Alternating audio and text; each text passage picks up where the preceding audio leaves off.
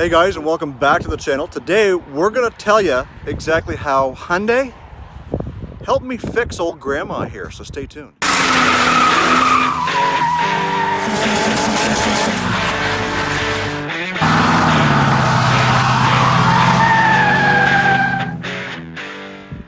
So it's getting to be that time of year again, sorry about the wind noise, that the snow is almost gone. We've had some rain, we've had some warm weather, and it's time to get these studded snow tires off of Grandma. So let's go inside and I'll show you what we're doing. So if you guys are new to the channel and uh, you're all about cars and you clicked on this because you saw a big Panther platform in the uh, thumbnail, this might be the channel for you. So please go ahead and consider uh, subscribing and hitting that thumbs up. That way YouTube tells everybody that uh, it's a pretty good channel and you won't be disappointed. So what we've got is uh, some 18 inch Mustang rims. Now these are off of an 11 Mustang and they fit right on the Panther platforms, at least my 04, with absolutely no modifications, no wheel spacers, nothing. So what we're doing is we're scuffing them up and we're getting ready to add a coat of paint to them, but we're not priming them because we want this silver to be the base. And the old tires that we had on it, well, we've either burned them off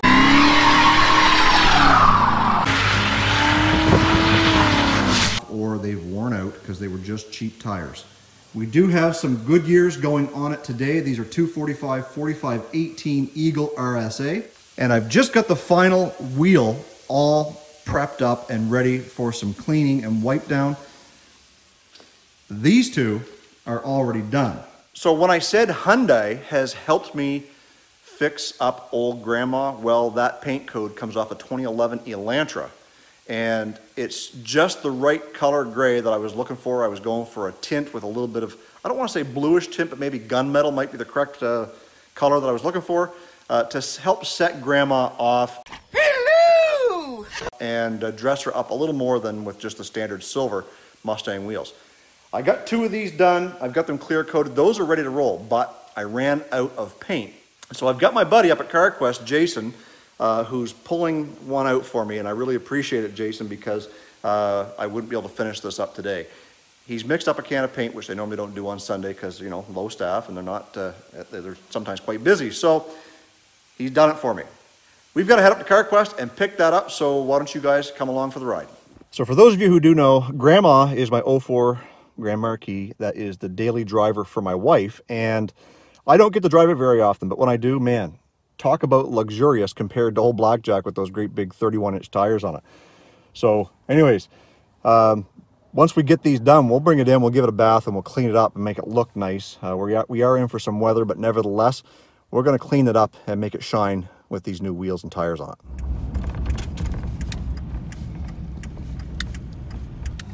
That was quick, in and out. We got our paint. Let's get back to the shop and finish up on these wheels. So let's talk for a second about um, getting these wheels prepped for paint. All we're doing is we're taking a red Scotch-Brite and we're scuffing it up so that we get rid of the shine off the clear coat that's there. If you're new to doing any type of uh, painting or anything like that on cars or any sort of metal that has paint already on it, all you're going to do is take the Scotch-Brite and scuff it up so you get rid of any shine. You don't want anything shiny because you want to scuff it up so that the new paint will actually stick to it.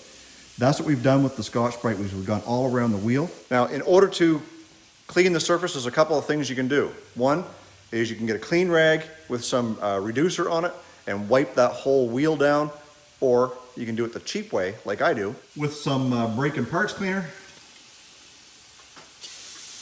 And we're just gonna clean it down and get rid of any of the leftover dust that might be there from the uh, sanding process.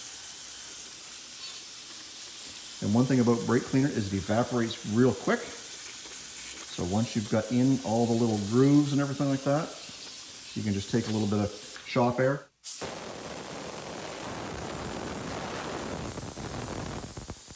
And just like that, it's dry and ready for paint. So let's get our first coat of Hyundai gray paint on here. So on this first coat, all we're gonna do is a nice light coat just to give it some tack and then when we come back with a second, we'll go a little bit heavier.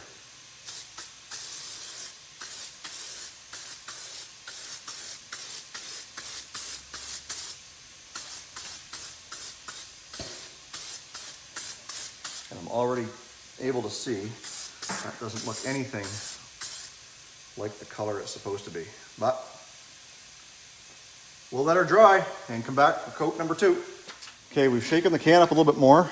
So uh, let's try our second coat and hopefully it's a little bit darker.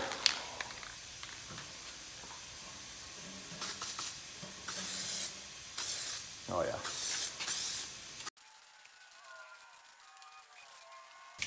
All right, that's looking really good. So we'll go do our other one, which is over here on the floor. And by the time we get that one done, maybe this one will be set up enough for coat number three. Okay, so we've got both of the two remaining wheels all colored up and the color came out just about perfect to what it was, but we did manage to get a little bit dripping off the can and left a little smudge or a little run on one spot. As much as I want to get in there and fix it, I'm not going to. Um, you're probably not going to notice it when the car is traveling down the road at 20 mile an hour, but um, in the same token, I would have to refinish the whole rim to fix it. And, well, I'm just not that picky. Unless it's food. I'm really picky with food. Anywho, the clear coat that we're going to be using is the uh, Duplicolor uh, acrylic lacquer. We're going to put a couple of coats of this on and let that set up, and then we're going to come back tomorrow and get the new Goodyears mounted and balanced and put on the car. Then we can show you the big reveal of Grandma all cleaned up with the new wheels and tires on her. So so for me, it'll be tomorrow, and for you guys, it'll just be in a few seconds.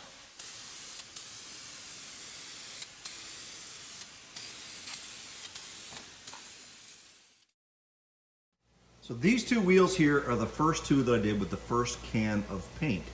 Turned out really good. Paint went on smooth, put the clear coat on, everything looks grand. This one is the one that I did with the second can of paint. The paint did not lay out as good. I did develop a little bit of a run right here. And the clear coat has had a bit of a reaction with the paint. Most illogical reaction. Same clear coat here, same clear coat there. Paint that was mixed probably a couple years ago, paint that was freshly mixed over the weekend. But where the big problem lies is with this last rim we got some droopage. Hey, yeah, but, but based on what you've seen with your wife, what, what can we expect in terms of droopage here? We got some sags. Cupid brings you a saggy old bag of treats. I'm not sure if you can see it, but we've got some shadows and some reaction. Again, there you go. Right in here. With the uh, clear coat to the paint. And I'm really not sure what we're going to do about it. The only right way to go about this is to sand down or remove all paint from both wheels and do it all over again, which I'm clearly not going to do because I'm too tired and lazy. And like I said before, I don't think you're going to notice it once that wheel starts spinning up. You'll see the color. The color going to look beautiful, but uh, I'm on the fence. I know that I, I should. I know that I should. Do it! Just do it! But, I don't know. I think what I want to do, again, just because I'm being lazy, is I want to get the tires mounted, balanced, put them on the car, get the car backed outside uh, in the daylight, and just see what it looks like. If it looks like crap, well, we'll have to do it again. I know we've got two that are okay. I'm not worried about those. And that other one isn't that bad. This one right here, this is the worst one. Anyways, I think what we'll do is we'll get Grandma up in the air, get the winter wheels and tires off, and then we can come over here and get these ones mounted up and balanced, put them on, see where we go from there. So we'll do most of that to a time lapse and some music for you guys.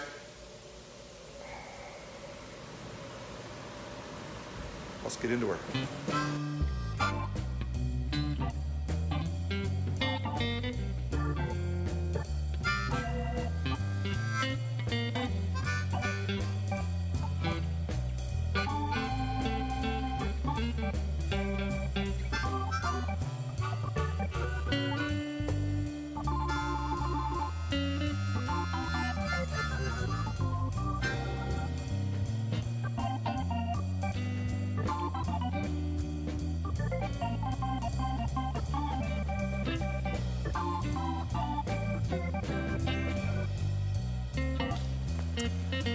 Okay, so two things now. One, Is we do have the wheels and tires on the car. two, Two. I can't find my chrome lug nuts. So I had to use those acorn style to hold them on there till I can figure out what's going on. And we don't have any in stock here at the shop, so that's for another day. three, three. I was gonna do this big reveal, get the car all cleaned up and shined up and, you know, beautiful sunlight. Well, she's a bit gloomy and windy and rainy. But I'm gonna do my best and uh, we'll roll this thing out of here and you guys will get to take a look.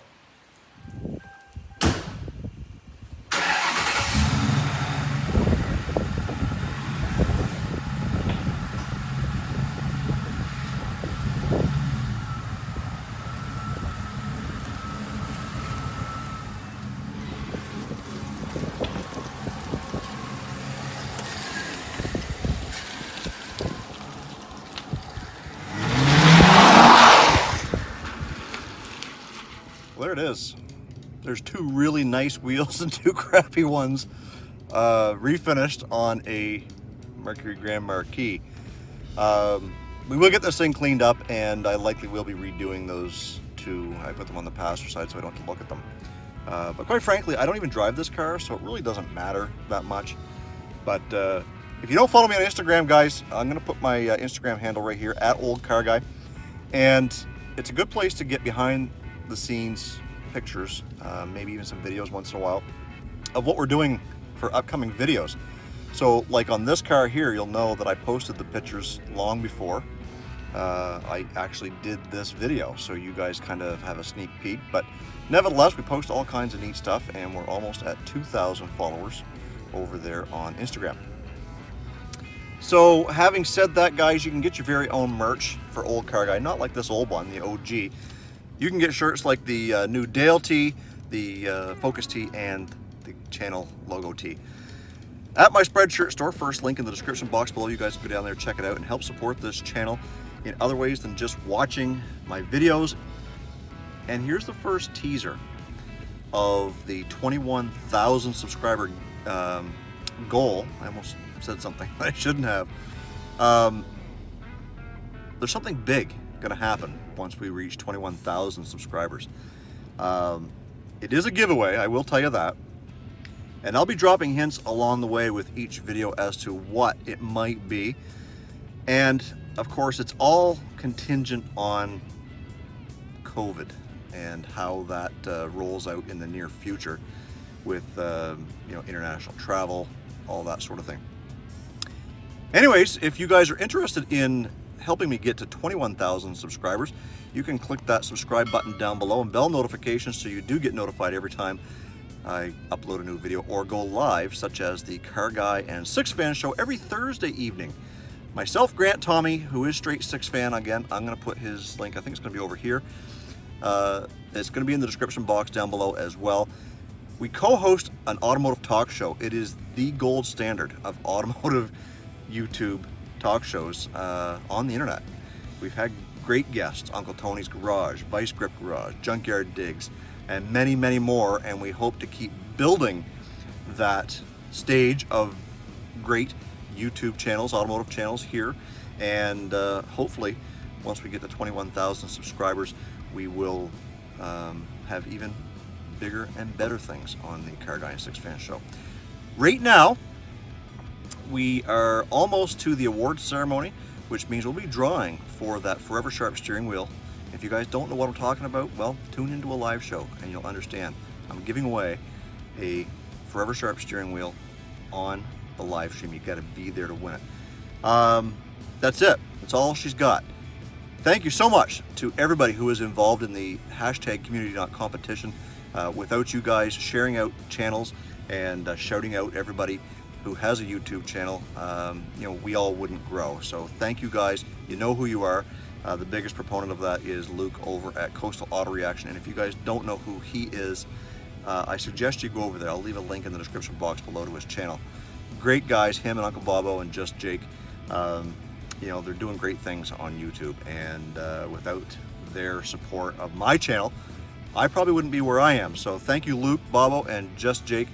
Uh, you guys have been an inspiration for me to keep on plugging, and uh, and that's what we're going to keep doing. On the road to 21,000 subscribers, guys. Stay focused on the windshield, not the rearview mirror. Love you guys. God bless. We'll do it again in the next video. And remember, we've got a giveaway coming up. We hit 21,000 subscribers. Hope you can be there.